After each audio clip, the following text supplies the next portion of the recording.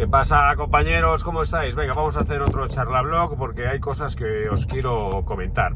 Lo primero que os quiero comentar es eh, que estoy haciendo ahora ya los preparativos de mi próximo viaje, que es en el año 2023, y que va a tener un contenido súper chulo, súper interesante, que es explicar geografía física, es decir, las latitudes, las longitudes, los meridianos, los paralelos, eh, la importancia de los solsticios de invierno, de verano, los equinoccios, explicaros esos conceptos que yo ahora estoy estudiando en las primeras asignaturas del grado de Geografía e Historia, del cual me he matriculado en la UNED, que me parece un descubrimiento, tenía que haberme matriculado antes, lo que pasa es que bueno, estaba tan ocupado haciendo otras cosas que no podía, pero siempre tuve ese rollo de meterme de nuevo en la universidad para sacarme una carrera simplemente sin prisas, ¿eh? igual 10 años, o sea, no tengo, ningún no tengo ninguna prisa, ninguna urgencia, simplemente lo hago por gusto. Entonces, eh, bueno, creo que es importante formarse, e educarse, estudiar. A mí me ha divertido eso, aprender, me ha gustado siempre mucho, porque soy una persona curiosa y yo os recomiendo que lo hagáis todos, ¿no? Lo, eh, cojáis el tema que más os guste y leáis, ¿no?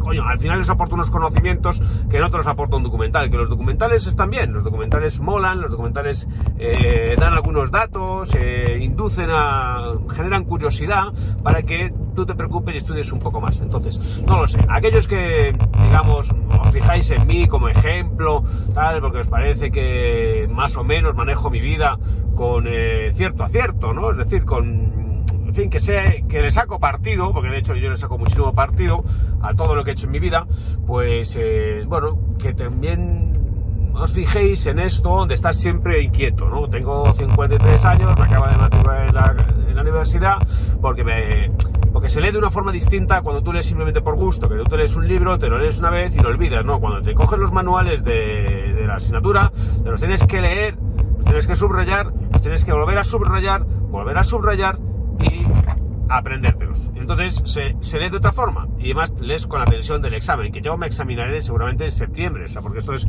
como, como consecuencia de los planes de Bolonia, pues ya las, eh, las, las, carreras no tienen de los cinco años, que eran todo el curso, no, sino que era por semestres, pero bueno, los semestres son de una amplitud de temario que es prácticamente imposible empollárselo en un semestre, y menos yo que estoy haciendo tantas cosas en mi vida.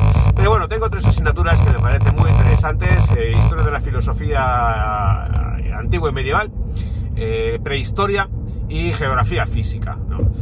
Es acojonante, ¿no? Eh, volver a recordar los conceptos de cómo se constituye la atmósfera, los vientos alisos, los vientos uh, occidentales, eh, las, diferencias, las diferencias de las, zonas climáticas. Bueno, es un mundo, ¿no?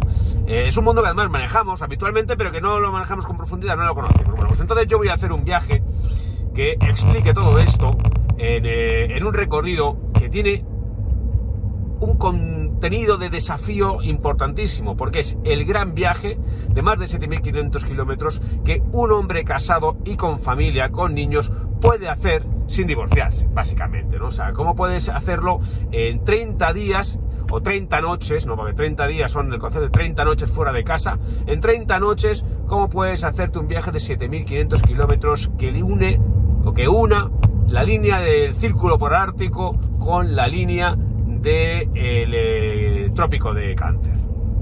Entonces, esto tiene una... Porque ahí dice, bueno, sí, o sea, prácticamente son 7.000 kilómetros en línea recta, yo no voy a hacer en línea recta, voy a hacer mis desvíos por los Alpes, voy a visitar más cosas, pero tiene un componente de desafío enorme porque, claro, esto es un viaje larguísimo, es un viaje larguísimo con muchísimas cosas que ver con muchísimos puntos de interés. Entonces, simplemente la zona africana o la parte africana, que es la que yo voy a hacer en primer término, es decir, en el periodo invernal, porque es la, porque voy a elegir también para estas tres grandes zonas, la zona, la zona fría, el clima frío, es decir, la península escandinava, eh, la zona templada, que es la zona europea, y después la zona tropical, eh, que es, eh, o intertropical, que es la zona africana.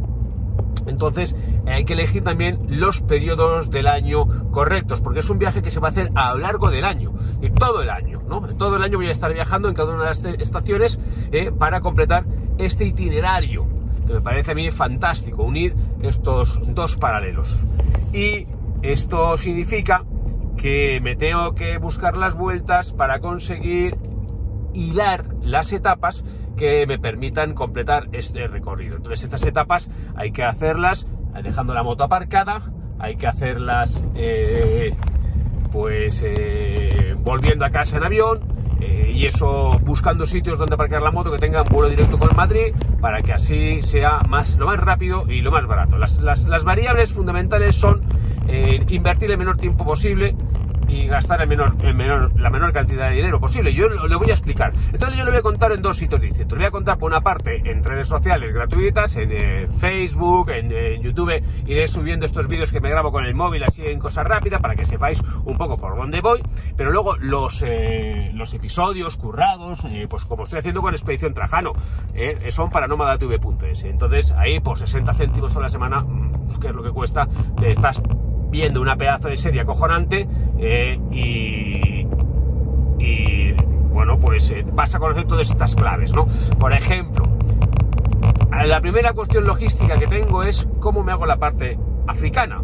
Y la parte africana, mm, de repente, claro, yo tengo unos días muy limitados, entonces tengo 30 días para 2023, pero es que para 2022 o me quedan 4 días por un intercambio, una negociación que hice con Teresa. Entonces tengo 4 días, entonces, ¿cómo coño llego yo a Marrakech en cuatro días sin disfrutando el viaje y filmando cosas que molen la pena, ¿no? Porque desde Madrid hasta Marrakech, hombre, eh, y, volviendo a mi casa, ¿no? O sea, cuatro días es bastante justo, pero oye, si yo te diseño un viaje que tú puedes hacer en cuatro días, que es un fin de semana largo, y llegas hasta Marrakech, y te digo cómo se puede dejar la moto allí eh, y cómo puedes volver a, a Madrid y cómo has podido hacer para que los cuatro días que tengo sean de pura aventura africana y vendo sitios chulísimos, o sea, sitios que molen, ¿no?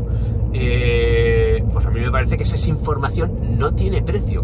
Es como el otro día, un suscriptor de, la, de, YouTube me dice, ah, coño, es que están los Llévenes, no sé qué, me dice, no, los Llévenes no solo vivimos de caza. O sea, le digo, tío, tienes dos episodios de los Llévenes de tu pueblo en nomadatv.es gástate 2,70 euros este mes para verte los dos episodios. ¿Cuántos programas de televisión han ido a grabar ahí los Llévenes? Hostia, las cosas que cuento, las cosas que filmo en los Llévenes que tú que eres de allí, tendrías que tener una curiosidad para verla, pues no. Por no gastarse 60 céntimos a la semana. Son cosas que a mí me llaman la atención. Que cuando nos estamos gastando las cosas en gilipolleces. Entonces, bueno, pues eso, como cuando me, me dicen, o sea, cuando estás planeando un viaje a Cabo Norte y, te vas a gastar una pasta y te digo, oye, en el libro Manual de Aventura y en el libro Europa Nómada tengo diseñada una ruta a Cabo Norte por menos de 30 días donde te vas a gastar menos de 3.000 euros. Y tengo diseñada la ruta para que, sin darte ningún día un palizón de 800 kilómetros, sino para que darte eh, siempre rutas eh, jornadas diarias que te permitan viajar desahogadamente disfrutando del viaje, del día 1 al día 30 o el día 25 en que vuelves a tu casa, es la ruta de ida la ruta de vuelta, viendo las cosas esenciales, hostia, ¿te va a costar menos los libros de lo que te va a costar el primer depósito de gasolina? Pues no, nos parece caro. Porque el conocimiento, eso es una de las cosas curiosas en España, el conocimiento nos parece caro. Pues no te preocupes, que al final yo tengo los suscriptores y los lectores, en fin, la gente que se compromete conmigo, que son, además, voy a hacerme este rollo para que los que sobre todo sean eh, socios suscriptores eh, puedan acompañarme en algunos en, algunos tramos de, estos, de este viaje que voy a hacer a lo largo de todo el año por estas tres grandes zonas geográficas, ¿no? La zona de África, la zona de España, eh, Europa, más o menos hasta Hamburgo, y después de Hamburgo hacia la península escandinava, hacia el círculo polar ártico que se puede cruzar por Noruega, por Suecia, por Finlandia, eh, pues eh, puede haber acompañamientos, porque mm, hay tramos de ida y tramos de vuelta. Entonces, la cosa es conseguir que haya algunos tramos en las que en los que se me puede acompañar sin intervenir, sin, tener que invertir mucho tiempo. Porque otra, otra es, otra de las cosas. También juega la posibilidad de enviar la moto por transportes ¿eh? a determinados puntos que van a quedar perfectamente y ahorrarte la parte más coñazo, yo voy a hacer todo el viaje. ¿no? Bien sea de ida, bien sea de vuelta, pero habrá unos puntos que a lo mejor, por ejemplo, en el regreso puedo utilizar el modo transporte. O, por ejemplo, si yo voy a llegar, por ejemplo, a Hamburgo y, quiero que alguien me acompañe en la zona de la península escandinava, todo o en parte, pues entonces organizar o, encontrar cuál es el mejor modo para transportar las motos a Hamburgo. Porque, por ejemplo, si yo tengo, me, van a, me acompañan cinco, ¿no? ¿Eh? Pues entonces, si yo consigo un transporte grupal de cinco motos a Hamburgo para que tú vueles a Hamburgo y entonces ahí ya recojas tu moto y te hagas un tramo de la península escandinava, a lo mejor has invertido una semana de, tus vacaciones, no 30 días. Que esa es un poco la cuestión en la que nos encontramos. Al final, eh, este, este diseño del viaje que yo me estoy currando es sumamente interesante porque va a permitirnos atravesar una gran variedad geográfica, cultural y climática, pero es prácticamente en línea recta de norte a sur, porque nosotros tenemos la península eh, ibérica muy bien situada, de hecho el meridiano de Greenwich pasa por la península ibérica.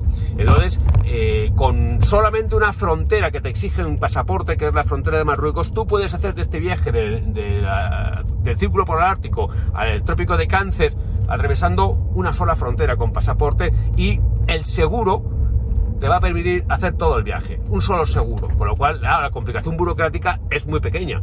Entonces me parece a mí un gran proyecto para que se pueda vivir la gran aventura del largo viaje en moto, más de 7.500 kilómetros, viendo paisajes y viendo cosas muy diversas y muy diferentes, pero al mismo tiempo que sea una gran aventura posible para cualquiera de nosotros. Que ese es un poco el proyecto que tengo, es decir, hacer democratizar el gran viaje de aventura para aquellas personas que tengan una vida ordinaria, común, normal y por tanto no puedan dejarlo todo atrás, ¿no? Y, ah, lo dejo todo, dejo mi trabajo, dejo mi familia para vivir el gran sueño. Bueno, eso yo lo hice en su momento, pero ahora, no lo volvería a hacer. Ahora tengo lo que yo mm, he querido tener en el momento que he querido tenerlo, ¿no? Con la madurez. Así que nada, muchachos, ese es un poco el planteamiento que tengo. Yo os recomiendo que os suscribáis a nomadatv.es si queréis conocer todos los avatares, todos los detalles, todos los, eh, toda la información, eh, todos los datos necesarios para hacer este viaje. Y si no, pues podéis ir viendo más o menos por dónde avanzo a través de Facebook, de Twitter y de YouTube, porque iré subiendo fotillos, algunos vídeos así cortitos, ¿no? Entonces, bueno, pues tú podrás ver eso, que eso es gratuito, o si no, a través del pago de la suscripción de nomadatv.es, que es una plataforma cojonuda que tiene todos mis eh, programas, todos mis viajes, todos desde el principio, ordenados cronológicamente. O sea, no hace falta ir a otros canales, está, todo está refundido ahí y eso también es muy cómodo para conocer toda mi, toda mi trayectoria y disfrutar de los contenidos en HD. Y además, luego otra cosa muy importante que ya hemos resuelto, todas las dificultades que había para ver en la Smart TV en nomadatv.es. Hay una aplicación en, que hay que descargarse en el teléfono y en la televisión, en la Smart TV, que es eh, Web Videocaster. Web Videocaster. Entonces tú te la descargas en el teléfono y te la descargas en la tele. Y entonces lo que estás viendo en el teléfono lo puedes lanzar a la tele, incluso con subtítulos y en Full HD. O sea, y bueno, eso es lo que mejor está funcionando porque es gratuita. Así que nada, muchachos, eso es lo que os quería contar. Hasta luego.